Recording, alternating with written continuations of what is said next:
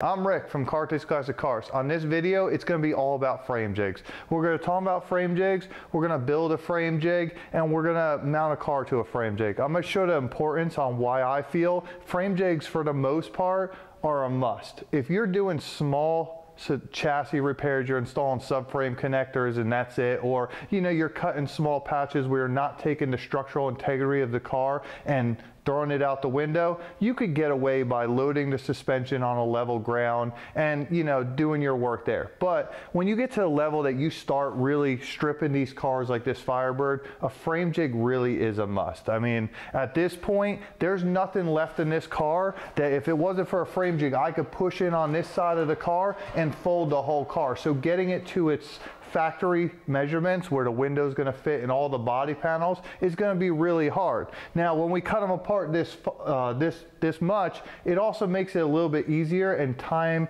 it's, it's efficient on our time when we put it back together. So we're not cutting off a small piece, finishing that, and then moving on. You could see we actually got half the parts for the Firebird project um, a couple days ago, actually yesterday, and just getting excited about some parts, I decided to throw the firewall, the Dynacorn firewall in place. You can see it was jigged up. There's these little pinholes down here coming in through the side. So I was able to sit there and just kind of set this firewall in place. And really, we didn't do anything to it. I just wanted to see what it looked like. And you can see, all in all, the firewall, it's where it's gonna be. It moves in and out a little bit. And that's our, we're gonna have some adjustability, but we already know the height of this firewall from there to there and everything is right. So that's the idea behind a frame jig and what we're getting for, you know, you, to make easy parts getting put back, taking key measurements and jigging up those points so we could just throw parts on there. So we're gonna build basically this frame jig. It's already half built and the reason being I recorded a bunch of videos, a different intro for this whole segment and the camera kind of erased all the film. It formatted the card. I can't get the videos back. So you're gonna have to trust me what we did and we're gonna fall into this project after this work has already been done. What I er, initially did was pretty straightforward. I basically have a 10 foot I-beam times two. So what we're looking at, we're looking at 10 feet, 121 inches, both of them. Now, where I got these I-beams and for your frame jigs, you could sit there, I do my frame jig out I-beams. You could do them out of square tubing with a triangle piece in the middle. I've seen frame jigs like that. There's different styles of frame jigs and they all work. The idea is you want a good solid base that's not gonna bend or move when you put a car on it. You want something you could pull off. You want something you could adjust the car and knowing how much you know, this is gonna take the load of the car and B, the new structure for the car.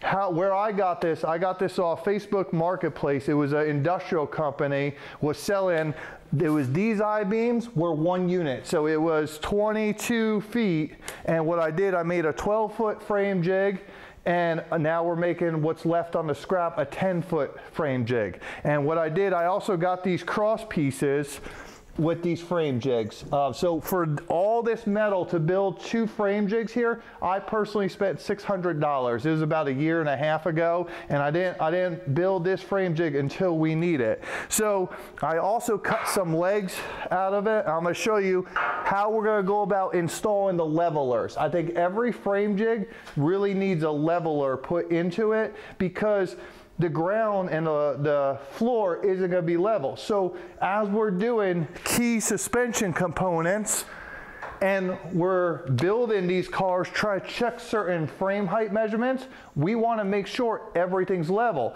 Even this I-beam, this I-beam right here is uh, nine and a half inches by five inches. So, and it's uh, 3 eighths inch on top and quarter inch in the center. Um, I'm sorry, five, uh, uh, how big is it?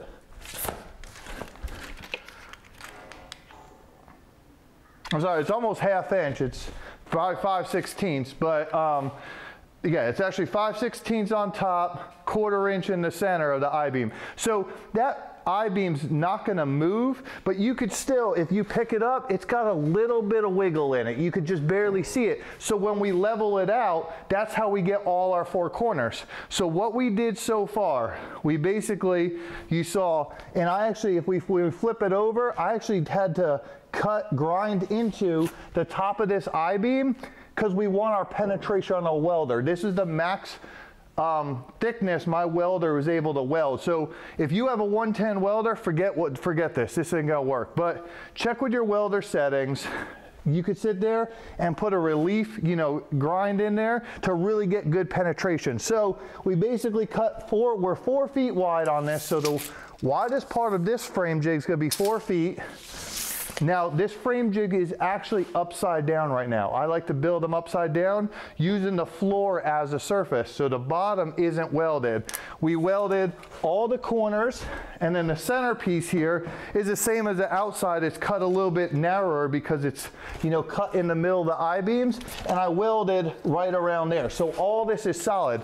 Now what I did, this is key on the frame jig. You have to make sure the frame jig is square as you're tacking it, not, not when you weld it. We tacked it and we basically measured corner to corner. So we got 130 and a quarter and then you're gonna take the same measurement and as you're tacking and before you weld, you're going to do the same thing. You're going to square up your frame jig and make sure you're perfectly square. That's the key to everything because when you put the car on it, you want to make sure everything's square so you can take your measurements. We're going to install some casters next. I'm gonna go over what parts I use and as we're installing them. And basically, another thing, we'll go talk about the rest of the frame jigs now. So you don't have to have, this is a little excessive, these I-beams. They're really big. Um, it works. I mean, I got a great deal on it. But this was our first frame jig right here. We bought this. It's five inches by five inches. Um, I'm sorry, four inches by four inches of frame jig. So this one, we got this and I have gussets in it. And you could see for our levelers, we put trailer uh, jacks on the front of it. It still does its function. And this frame jig and what I was introduced to frame jigs was actually through race cars. We could sit there and we get a race car and I'll put a, a chassis on the, the jig and what we're trying to do, we get the chassis level and then we come back through and we bend the chassis and we tweak it in certain areas that we want certain drive and everything on these cars. So the frame jig for me was a controlled crooked car basically to give us an advantage while going around one circle. Knowing how much of advantage it is if we move the car half an inch here, half an inch there on a frame jig, you could imagine you when you're building and restoring these cars to this level, you don't want to have a quarter inch half an inch off on height, wheelbase, or anything else. It could lead to a really ill driving car. This is currently right now our e-body frame jig. I have a K-member done to it and everything. So this is what we build e-bodies on. So if you have a straight e-body, we do enough of them out here that I could sit there and put an e-body on this car and check it for straightness, build off of it, and we're not building different mounting points. So let's look at the last frame jig we have, and it's really, it's a frame straightener and I'm using as a jig. So we have this, and actually I got this at a really good deal too, but this is basically a frame um, pulling machine. So we could put arms on the side of this machine and it's used, it's an older auto body shop that you could see is professionally built it's about five, 6,000 pounds. We're currently using it as a frame jig, but we have the ability to pull cars and straighten cars out here if we have one that comes in a wreck. Most of the time in the restoration world, we're gonna replace those panels if they're bent, but we have that option in the future and this one has ramps and everything. So this is another example of, you know, the professional version of what we're trying to do. It's not gonna move anywhere, we can adjust it and we can build our car cars knowing they're not going to bend. So now that we kind of wrapped up what we were doing in the thing, let's pick up the project and I'll show you how we get the levelers installed on the frame jig and how I personally have been going about doing them.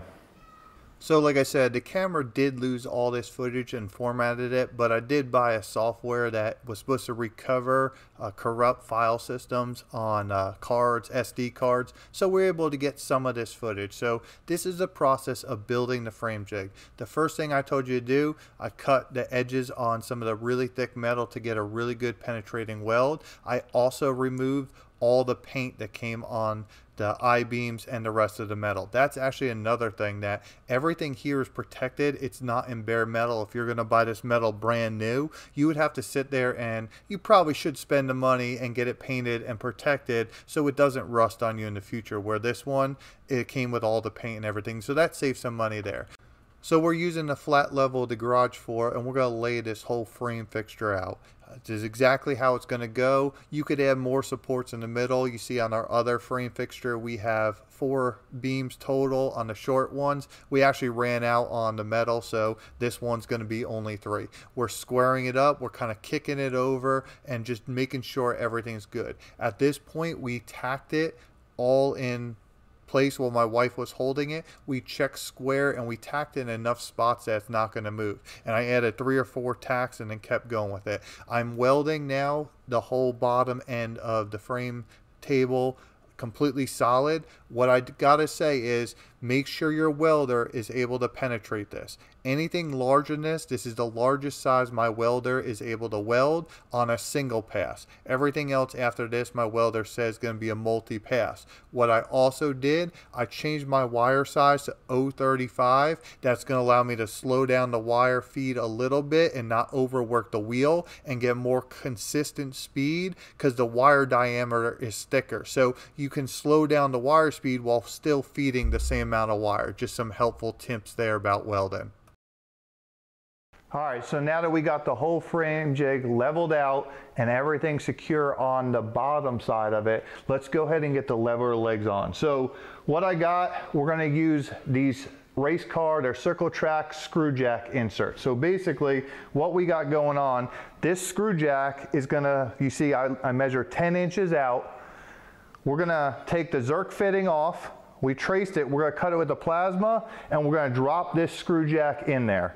Once it sits in there, when we're done, this 11 inch screw bolt, jack, weight jack bolt, is gonna sit there and it's gonna screw up and down on the screw jack, okay? So this would be the bottom of it. So if we want to go up 11 inches, it's going to look like that. We also, the jam nut will actually be on the other side to lock it down. Just because I want to go lower, uh, raise it up higher, but the jam nut could go on either side. Then I'm going to have, again, this is all looking upside down how this setting is going to be. We have this plate. This is going to be our leg. How the weight jack bolt works is there's going to be a bolt through here and this bolt doesn't tighten down all the way. So we want this bolt to have play in it, like that. So basically, as we're screwing the screw jack, the leg can stay straight and we can actually level it just using a half inch ratchet on the top. So that's the idea behind the levelers. We're gonna cut them out, we're gonna drop it in and weld it.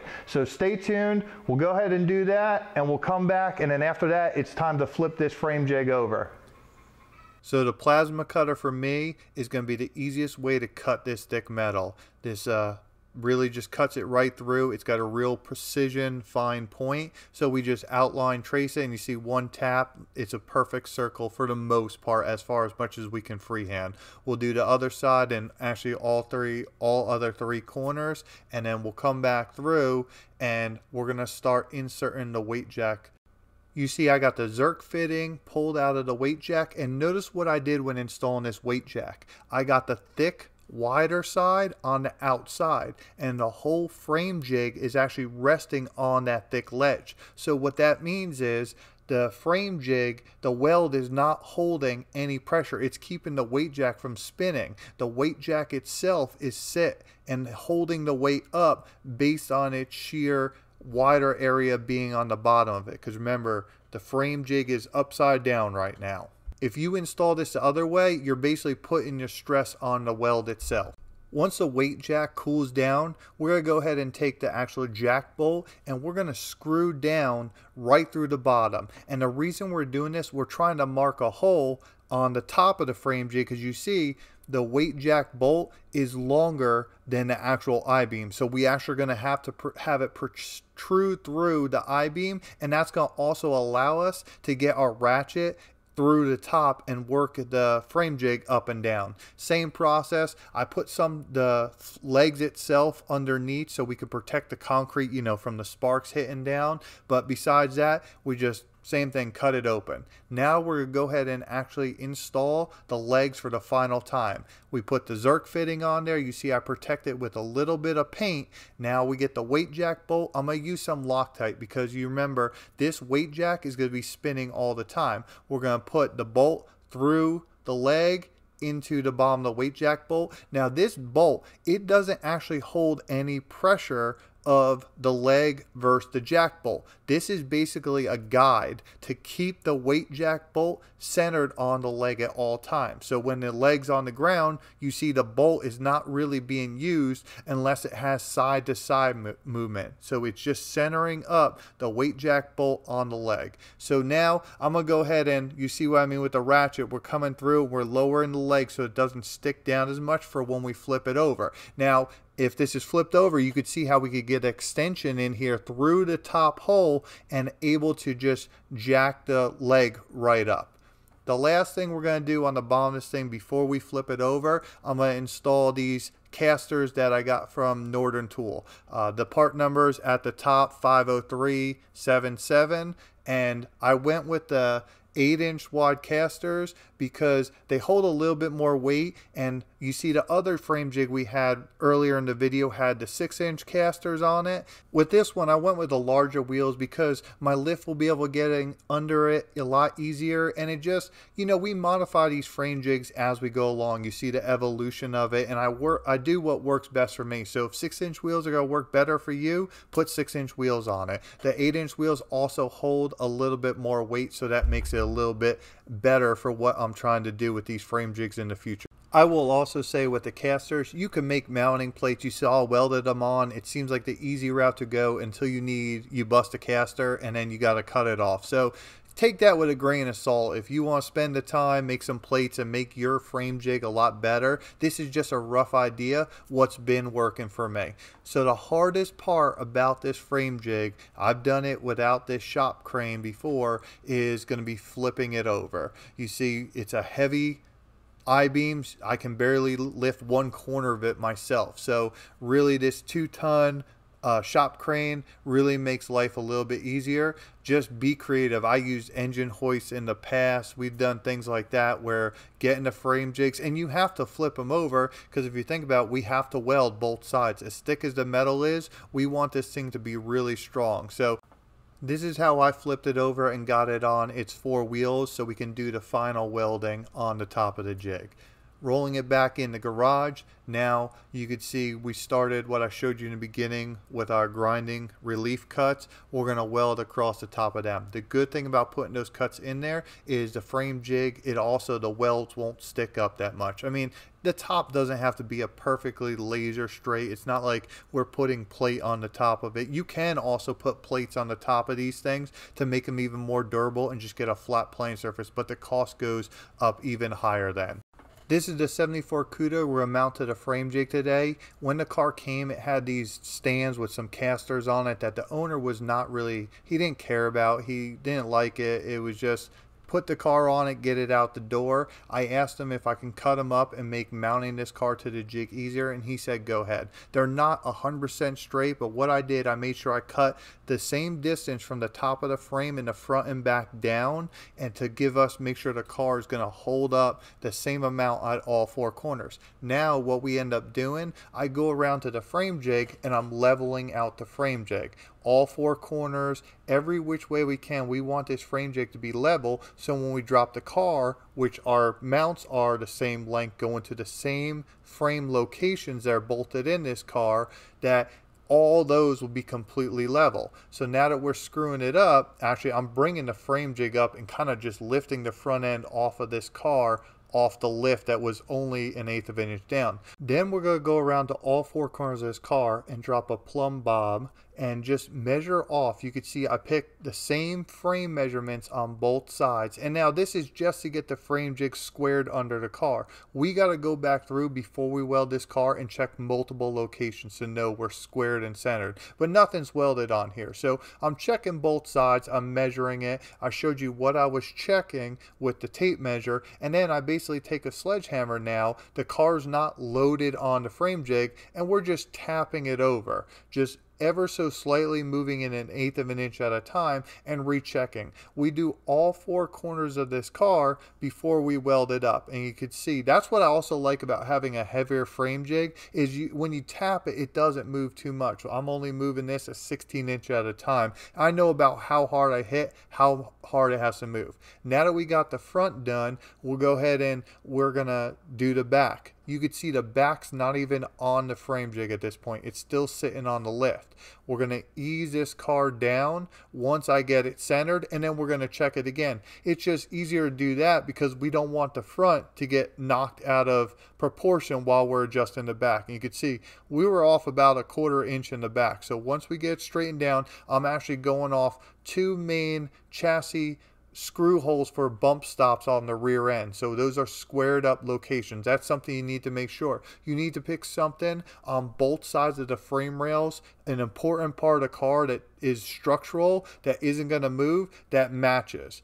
Once we know all four corners are set, we'll go ahead and drop down the car. I'm going to tack the four corners on. And what I did, I just did the front right now. What I did, you saw I dropped the back on there. And now I'm going to go through, recheck my squareness, checking my frame heights, everything else, making sure nothing moved while we drop the lift down. The main thing I like to also do, I like to make sure the rockers are completely level before we go ahead and weld this thing up solid.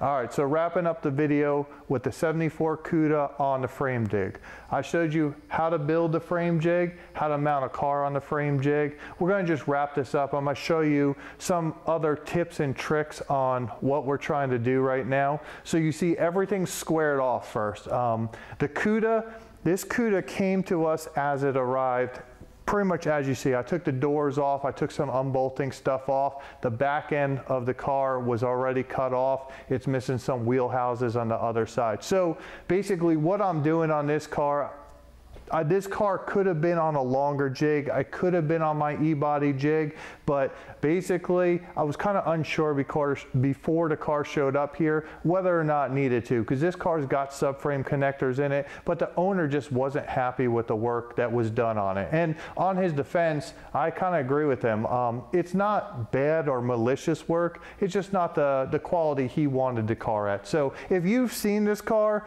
I mean, I'm not going to put any shops names out there or anything please don't say it on this channel either. I don't want to badmouth the shop. Again, I don't think the work is that bad, um, but we're going to clean it up a little bit more and finish off the work. There's probably not going to be a lot of filming done on this car itself, minus this jig video. The owner's really awesome and he was open for the filming. But again, since it's not really my work and not the steps that we would have taken um, in doing this process, we'll probably kind of just do this and maybe post some pictures on our Facebook page. So where we're at, um, we got the 74, like I said, we have the frame measurement chart. So now that everything's level on this frame jig, we need to go through, especially since the, we're kind of unsure how the car was built and how the subframe connectors were welded in. So we need to take the 74 E-body frame measurement chart and go through this car front to back and verify our measurements. Now, maybe someone um, out there in YouTube land